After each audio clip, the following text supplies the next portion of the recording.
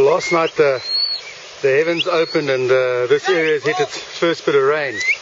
So the herders are chasing the, the zebu into the rice paddies to trample the soil so they could plant rice here. And uh, this is what these guys are doing, chasing this herd up and down this rice paddy that yesterday was bone dry and today it's a source of nutrition and the, probably a couple of hours they'll be out here planting the the rice but uh, yeah this will go on for a good hour or two loosening up this parched soil that was so dried over the over the days. But uh, these guys are having fun here.